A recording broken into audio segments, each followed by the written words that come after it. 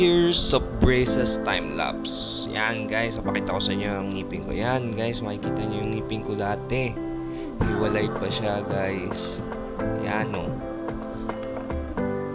Laki ng siwang sa gitna guys.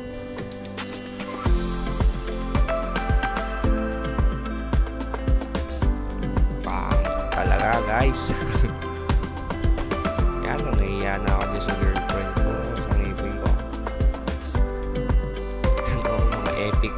Yan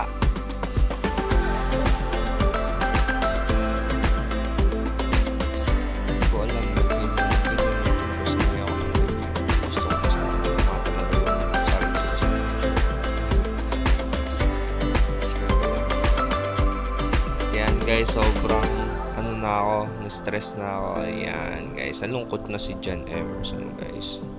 So yun, nag-decide na magpa-brace yan July 28, 2020. So guys, yan, surgery na tayo sa brace. Surgery. yan guys. Pa-brace na tayo guys.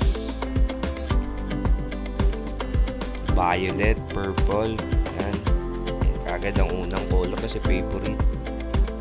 Oh, ayan guys, adjustment August 28, 2020. First adjustment. Naka-continuous tayo ng race. Color blue. Navy blue ba yan? Yan guys, dito September 28,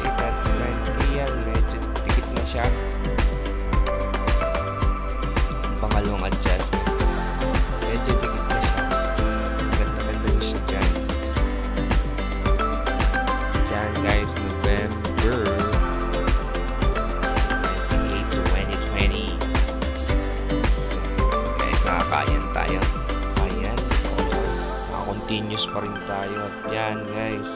Nag-try tayo dito on December 28 ng transparent. At hindi ko siya may-recommend sa inyo guys. Pangit. Namamantsahan. Yan guys, March 28, 2021. Yan guys, medyo ayos na dito. Na siya. Napapogi naman tayo. Oh. Guys, September 14, 2022. Ito na yung. Last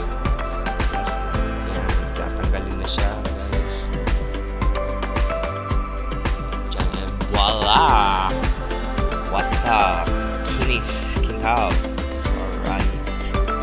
Ganda na ng ngipin natin dyan, guys. Yan. Ito nga pala yung magre-retainer. Sinukatan ako kasi may ngipin.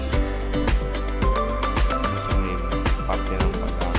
Yan, guys. At ito na, nag-retainer na. September 16, 2022. Mag-subscribe kayo! Peace out!